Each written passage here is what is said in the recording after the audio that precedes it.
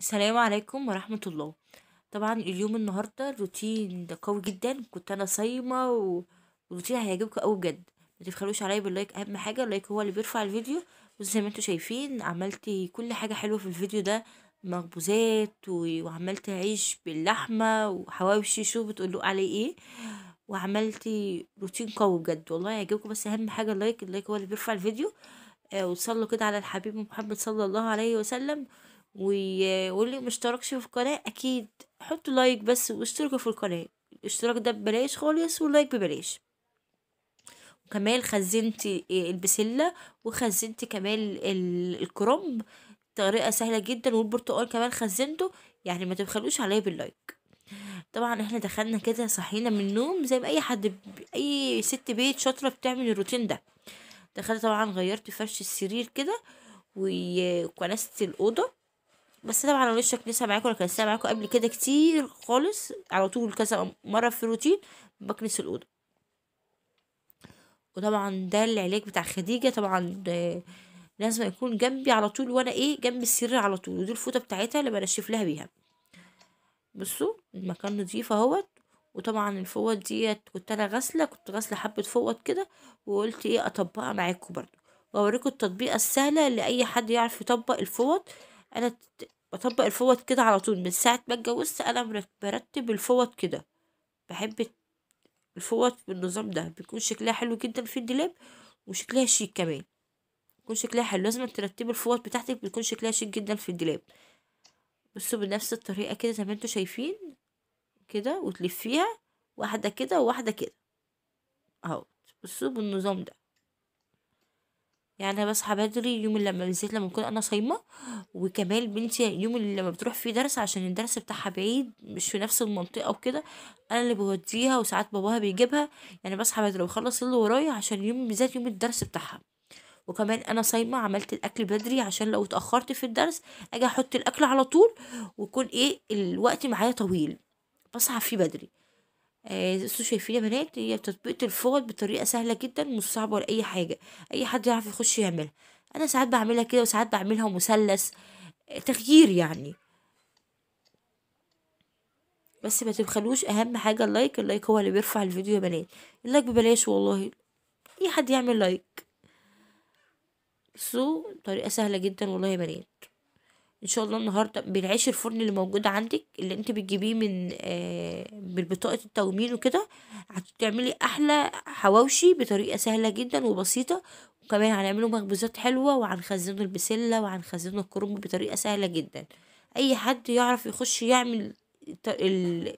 يخزن الكرنب بطريقة سهلة والبسلة كمان تقعد معاكي بدل السنة سنتين ما يحصلهاش أي حاجة. طبعا أنا مطبقة آه، الفوز زي ما أنتوا شايفين حاطاه في الدولاب كده وديت ال- الطاقية بتاعت الخزيجة كده. طبعا رتبت بقى الأوضة وقلت إيه نزلت جبت حاجات من السوق من, من من السوق تحتية يعني بقى إيه في واحدة فاتحة كده بنزل أجيب منها حاجة يعني. جبت منها برتقان وجبت منها البسلة للتخزين وكان عندي الكرنباية ديت أنا كنت مخزناها كنت جايباها من كام يوم كده وحطاها عندي. قلت في أي وقت أما افضى كده إيه أعملها. قلت في الوقت ده أنا كده كده أنا صاحية أعملها وكده. البرتقال ده كنت سكري أنا بحب السكري قوي كنت جايبة الكيلو ونص بعشرة جنيه والبسلة الكيلو ونص بعشرة و... وطبعا كنت جايبة بصل بس كنت جايبة خضار كت... حاجات تانية كده مليتش اوريها معاكم يعني. كنت جايبة طماطم وكنت جايبة آه، بصل وكنت جايبة لحمة نزلت جبت لحمة مفرومة دي لحمة من عند الجزار. أنا ما بحبش اللحمة المستوردة أقول لكم الصراحة. بحب اللحمه البلدي اللي بجيبها من عند الجزار. طبعا حطيت مية على النار والمية دي بتكون فيها حبة آه، مي ملح وحبة كمون. الكمون ليه بقى؟ عشان آه، طبعا الكرنب ده فيه بيعمل آه، بيوجع البطن طبعا لو عنده قولون بيتعب وكده. لازم تحط حبة كمون في المية. بصوا بطريقة سهلة كده. ما تجيبيش الكرنباية اللي متكبسة جامد. جيبي الكرنبايه المهوية عشان تعرفي تسلقيها والورق لما تيجي تسلقيه ما يتهرش منك. اتفقنا؟ اهو. وأقول لك كمان الكرنب بيقعد عندك سنة والله ما هيحصل له حاجة في الفريزر. بس اعمليه بنفس الطريقة كده وهو هيقعد معاك والله بدل السنة سنتين. بس خليكي معايا في الفيديو عشان أقول لك كل حاجة. بصوا شايفين اللحمة اللي أنا جايباها حمرا ما فيهاش دهنة خالص. هي اللحمة غالية طبعا اللحمة الكيلو بمية وخمسين جنيه بس أنا بجيبها من عند الجزار أنا برتاح للجزار ده بجيبها منه بتكون حلوة. آه بصوا أنا طبعا بحط في المية زي ما قلت لكم ملح وحبة كمون. وفي الكرنب بالذات عشان تحتفظي بيه يقعد فترة طويلة ما يحصلوش حاجة في التلاجة وما يتهريش منك عشان في ناس بيشتكوا منه كتير. أول ما تحطيه في المية كده على طول بالظبط دقيقة دقيقة. هتطلعيه على طول. أول ما تعدي الدقيقة تطلعي الكرنب ده على طول من المية عشان ما يتهريش منك عشان طبعا لسه بي... التلج بيخليه يستوي أكتر في الفريزر. اتفقنا؟ لما تحطي بالذات الكرنب في الفريزر آه وهو مستوي جامد ولسه كمان التلج بيخليه مستوي أكتر بيبوظ. دقيقة كده وتطلعيه على طول دقيقة وتطلعيه على طول. وعلى طول بقى عشان ما يفضلش السخونية دي تهريه أكتر تحطيه في مية إيه؟ في مية ساقعة أول ما تطلعيه أول ما تطلعيه من المية السخنة تحطيه في مية ساقعة. اهو كده سيبه إيه؟ ده إيه؟ احطه تحت المية الساقعة على طول دلوقتي. افتح الحنفية وأحطه تحت المية. عشان ما يتهريش منك عشان لما يحتفظي بيه في الفريزر ما يبص خالص ويفضل زي كده بالظبط. طبعا وأنا واقفة كده إيه كنت بعمل البسلة قلت وأنا واقفة شوية نعمل البسلة وكده. وبعدها زهقت وقلت لأولادي بقى هم قاعدين فردت لهم حاجة على الأرض وقلت لبنتي بقى بناتي وكده قلت لهم إيه عيشوا بقى عيشوا بقى اقعدوا فرطوا في البسلة دي. أنا على طول كل ما أنزل السوق أجيب كيلو ونص أجيب اتنين كيلو. طبعا البسلة غلت الأول كان اتنين كيلو بعشرة جنيه دلوقتي الكيلو ونص بعشرة. آه على قد ما تقدري تخزني البسلة وهي طرية مش ناشفة. عشان لو خزنتيها وهي ناشفه تبقى طعمها مش حلو خالص. خزنيها في الوقت ده وريت كنت تكوني خزنتها قبل كده كمان عشان تبقى حلوة. يعني أنا بنزل أجيب بسلة بنزل أجيب خضار بجيب بزيادة عشان أحطه في الفريزر. يعني عندك طماطم الطماطم وهي رخيصة تجيبي 3 كيلو تستخدمي اللي أنت عايزاه وتنقي المستوية وتحطيها في الفريزر. نفس النظام كده. لو كل مرة تجيبي أما تنزلي السوق بتجيبي اتنين كيلو بسلة وتحطيهم في الفريزر الفريزر عندك هيبقى الحاجة عندك كتير جدا وتنفعك في أي وقت انت معكيش فلوس تطلعي وتعملي على طول. معلش بقى لو في صوت دوشة ولا حاجة عشان عيالي بيلعبوا بره. معانا بصلتين كده بشرت بصلتين كبار وعليهم فلفل أخضر وعليهم طبعا شطة وفلفل أسمر وملح. طبعا أنا بحب البهارات بحب أحط بهارات لحمة وبحط جوز الطيب وكده على اللحمة بالذات بتدي طعم نكهة حلوة جدا. وفي طبعا في حبهان مطحون بتجيبيه من عند العطار بتحطي منه برضو آه بيكون اللحمة حلوة. آه كمان بس أنا جوزي بقاش بيحب البهارات على اللحمة قوي طبعا اللحمة دي حمرا وأنا عايزاه طبعا تديها طعم دسامة حلو وكمان تبقى طعمها لذيذ جدا. تحطي سمنة بلدي نص معلقة سمنة بلدي على الحواوشي. جربي كده حطي نص معلقة سمنة بلدي على الحواوشي. بجد بتفرق في الطعم جدا والله بتفرق في الطعم. حطي نص معلقة سمنة بلدي ما الزبدة. سمنة بلدي. بتفرق في الطعم جدا. تفركي كده في اللحمة جدا جامد تدخلي اللحمة كويس قوي. مع البصل وتقعدي تفركي فيها كده.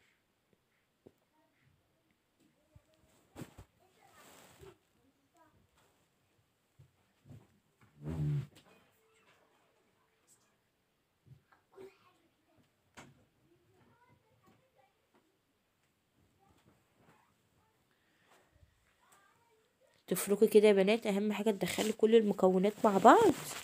أنا في أنا ما بحبش اللحمة المستوردة ما اكدبش عليكم يعني ما بحبش اللحمة المجمدة. في ناس بيقولوا عليها مستوردة وفي لحمة بيقولوا عليها إيه لحمة مجمدة. هي مستوردة عشان بتيجي من بره هي أصلا مش في مصر بتتذبح دي بره بتتذبح في في بره بتتذبحش هنا اللحوم المجمدة ديت بتتذبح بره أنا ما بحبهاش أنا بحب اللحمة البلدي. طبعا جبت العيش ده كده فتحته من إيه حتة صغيرة بس مش حتة كبيرة كده. وهحط حبة زيت عليها وهتشوفوا دلوقتي معايا.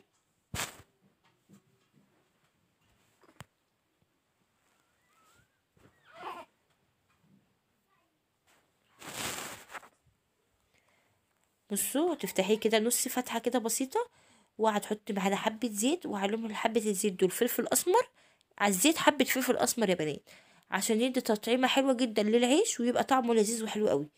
يعني أي حاجة تعملي بيها مش شرط تشتري عيش بقى آه، تروحي المخبز وتقولي عايزة عيش فاتح شوية عشان أعمله فيه حواوشي. لأ العيش ده كان طري وجميل جوزي كان لسه جايبه من المخبز وك... من ال... نزل وكده قلت له ما عنديش عيش وخد البطاطا التومين ونزل يجيب لي العيش وكده. بس هو بيجيبوش من منطقة عندي بيجيبه من مكان بره وكده هو جاي من الشغل. وطري وكده وقلت خلاص أعمل بيه النهارده بقى. وأنا كده كده كنت هنعمل كنت لسه هنعجن وكده. وقلت لا خلاص هو كده كده بيحب العيش ده في الحواوشي وكده.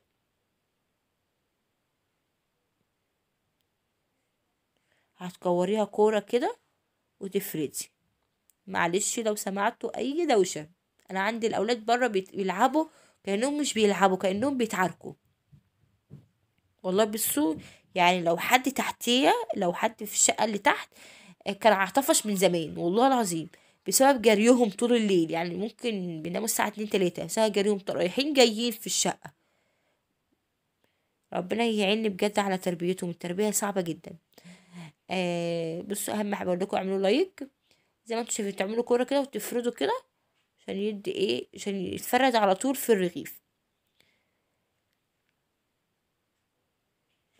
عايزة أقول لك حاجة اوعي تشهدي شهادة زور.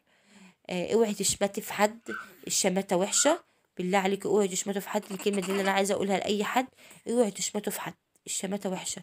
اوعي تشهدوا شهادة زور. لو انت شفت الحاجة وواحد حد جه قالك تعالي شهدي معايا دي عملت كذا وهي أصلا ما عملتش اوعي. اوعي تشهدي شهادة زور. اوعي تشمتي في حد.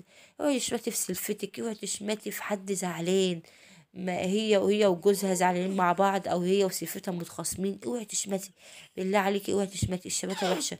أنا شفت كتير. أنا كان بيحصل معايا مشاكل كتير معايا أنا وجوزي وكده وبلاقي اللي بيشمت فيا. والله العظيم كنت ألاقي اللي بيشمت فيا. معذري كنت بدعي أقول يا رب حسب الله ونعم الوكيل اللي بيشمت فيا. معذري دلوقتي مش هقولك بيحصل معاهم حاجات بس أنا فوضت امري لله عز وجل. عمري ما شمت في حد بس اللي عايز يشمت فيا يشمت فيا. بس بقول لكم اوعوا تشمتوا في حد. آه، ادعوا لأي حد زعلان مع مراته زعلان مع سلفتها زعلان مع حماتها. ادعي لها يهدي لها الحال. اوعي تشمتي في حد. مش هيجيلك يوم. والله الدنيا دوارة. كما تدين تدان لو بعد حين. الديان لا يموت. افعل يا ابن آدم كما شئت. كما تدين تدان لو بعد حين. قلت أقول لكم بس عشان إيه؟ آه أنا عليا قلت يعني خلاص خدته بالنصيحة خدته ما خدتوش. أنا برضو قلت إيه اللي عليا. طبعا أنا طلعت جوافة من الفريزر طبعا بصوا الحاجة اللي متخزنة بتنفعك إزاي؟ بتنفعني في أي وقت. كده أنا إيه بحط بقى إيه ممكن تضربيها تحطي على الجوافة ديت شوية لبن أو ممكن تحطي تضربيها بالمية وخلاص. بس لما تحطي لها لبن بتكون طعمها حلو يعني مفيدة جدا ومغذية. طبعا أنا صايمة كمان قلت إيه أشرب الأولاد وكمان بنتي كانت رايحة الدرس قلت أعمل لها إيه تشرب العصير ده. قلت عشان ممكن أتأخر وإيه وملحقش الفطار لازم أعمل العصير وأعمل كل حاجة قبل ما أمشي. قلت لازم قبل ما أمشي أعمل كل حاجة.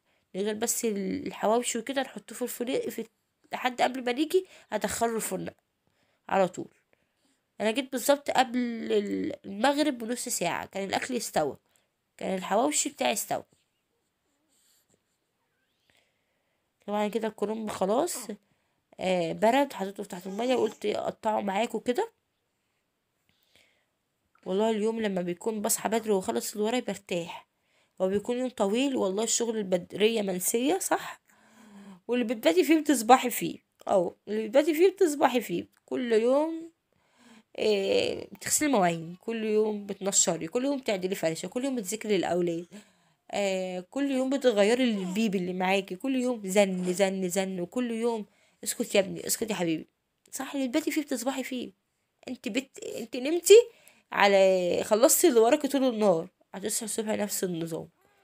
يعني عشان تدعي بقى ربنا يقويكي آه، كان آه، سيدنا محمد دخل على بنته وكده وهي تعبانة وقالت له أنا عايزة خادم خادمة تخدمني وكده. رد قال لها أنا أدلك بقى على أحسن حاجة ت- تقوليها تقويكي طول النهار وتديكي قوة وتديكي صلا- تصلي القيام الليل وت- وتذكري ربنا س- آم، تسبحي خمسة وتلاتين وكبري تلاتين تسبحي خمسة وتلاتين وتكبري ربنا تل- تلاتين وتستغفري ربنا آه، حاجة وأربعين خمسة وأربعين كده. يعني هتقومي قوية. قبل ما تنامي تقولي تستغفري ربنا سبحان الله العظيم وتقول الله أكبر وتقول استغفر الله العظيم. هيديكوا قوة تصحي الصبح بقى عندك قوة وما تحسيش بأي تعب خالص. يعني إحنا اللي أنا بعمله على طول كل يوم بستغفر ربنا قبل ما أنام واذكر الله عز وجل عشان أصحى الصبح ربنا يقويني على تربية عيالي وعلى الشغل البيت. اعملي كده. اذكري ربنا كتير واستغفري عشان ربنا يقويني على شغل البيت. طبعا قطعت الكرنب كده وشغلت قلت أشغل الغسالة. معلش بلوك معاكم شوية بس بدوكوا النصيحة يعني تستغفروا كتير. بس يا ماما. كاكا كاكا كاكا أنا بنتي على دراعي. طبعا أنا بقول لكم هنا أنا حطيت بقى ال... بستخدم أريال والمعيار ده طبعا فيه مية في مية وخمسين آه كده. أنا طبعا لو الغسيل فيه آه مش نضيف وكده بحط إيه؟ بملاه على اخره مية وخمسين. لو الغسيل مش قوي يعني بحط مية. بحب أستخدم أريال جدا. أريال أريال جل حلو قوي قوي قوي قوي قوي في ريحته أنصح أي حد يستخدمه. ريحته جميلة جدا. وطبعا عشان أنا جوزي بيجيبهولي من الكارفور وكده بخمسة وستين بستين جنيه. بستين. بيتباع هنا في المنطقة عندي بخمسة وسبعين جنيه. الفرق قد إيه؟ خمستاشر جنيه بحالهم. طبعا حطيت المية حطيت شغلت الغسالة قلت أخش أسيق بقى البلكونة عشان أحب إيه وأنا بنشر كده يبقى البلكونة نضيفة ومفيهاش أي حاجة. بس الجو كان مغيم خالص الدنيا كانت هتمطر. بس أنا إيه بنشر في المنشر اللي جوه.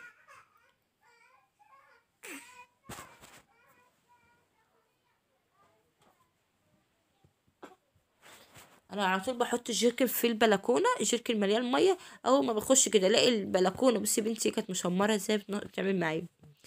على طول بنشر بسيق لازم أحط الجيركن على طول إيه في البلكونة. في الوقت ده بس انت بقى كانت رايحة الدرس وكده وأنا كنت ماشية معاها كمان يعني كنت اصور وأنا ماشية معاها. طبعا جيت الحمد لله جيت بدري وديتها الدرس وجيت بدري يعني بالظبط قبلها بنص ساعة. حطيت الأكل في الفرن وقلت بقى إيه أخزي إيه أوريكم البسلة بقى. غسلتها كويس وحطيتها في العلب دي, دي. أنا ما بحبش أحط عليها جزر أما باجي أخزنها.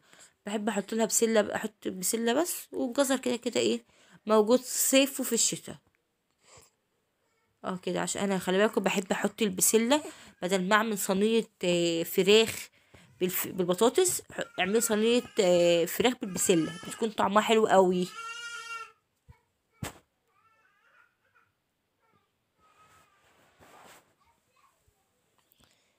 وكمان قطعت الكرنب كده يعني ظبطي ظبطي الرصة كده وتحطيها في العلب. أنا بحب أحط في علب. أنا ما عنديش طبعا مكان في الفريزر وما عنديش فريزر غير فريزر التلاجة بس أنا بخزن إيه الحاجات اللي زي دي عند أمي. أمي عندها فريزر كبير ومرات أخويا وكده بخزن عندها. يقولي كده ربنا يوسع عليا وأجيب فريزر نفسي أجيب فريزر نفسي أجيب حاجات كتير. بس أنا بحب الفريزر اللي شبه التلاجة العمودي ده. بحبش الفريزر ما بحبش الفريزر التاني اللي شبه بتاع الآيس كريم وكده. لا بتاع الجيلاتي والآيس كريم. بحب الفريزر اللي شبه التلاجة بيكون أحسن. بحب أقسم بقى مكان درج للفراخ درج للسمك درج للخضار درج تاني للعيش كده. بحب أقسم يعني. أنصح أي حد يجيب فريزر اللي شبه التلاجة ما يكونش شبه بتاع الآيس كريم. بص كده خلاص. خزنت بقى البسلة وخزنت ال كل حاجة كده ما شاء الله الكرنب جميل جدا. بصوا الصورة حلوة كده. وكمان قلت كمان أوريكم إزاي نخزن البرتقال عشان تحتفظي بيه برضك لمدة كام شهر في الفريزر ما يحصلوش أي حاجة. هتقشريه؟ ما تفتحوش بقى عشان طبعا البرتقال فيه نسبة فيتامين سي وحمض. لما بيت... هو حمض. الحمض ده لما بيتعرض لل آه للتلج بيم... بيكون طعمه مش حلو جدا لما تيجي تضربيه. اتفقنا؟ لما تيجي تضربيه. أهو هتخزنيه نفس النظام ده كده. وما تسيبوش يفك بقى. هتحطي له حبة مية مية وتضربيه على طول في الخلاط. بصوا كده خلاص. متبخلوش اللايك أهم حاجة اللايك. طبعا بقولكم عملت كل ده وهو لسه كان لسه في الفرن جنبي وكده. خلاص الحمد لله. المغرب كان فاضله بالظبط خمس دقايق ويأذن. خلاص كده. الحواوشي بتاعنا خلص الحمد لله. طبعا أنا إيه فطرت وقلت إيه أوريكم بقى المقطع الصغير ده. أنا إيه كنت عاملة فطاير بال بالتفاح حلوة جدا. الفيديو طبعا مش كامل هنا هو نزلته لكم خشوا شوفوه كامل على اليوتيوب. طريقة عمل ال- التفاح بالمخبوزات وكده طريقة سهلة جدا. مخبوزات بالف أهو هتشوفوها قبل الفيديو ده بالظبط قبل الفيديو ده. أنا قلت أنزله لكم هو الأول وبعدين أنزل لكم بعديها روتين. سهل جدا شبه الوردة كده وجميل جدا والله العظيم. وطريقتها حلوة لو مش عايزة تحطي تفاح ممكن تحطي أي حاجة تانية. متبخلوش عليا باللايك بقى. مع السلامة.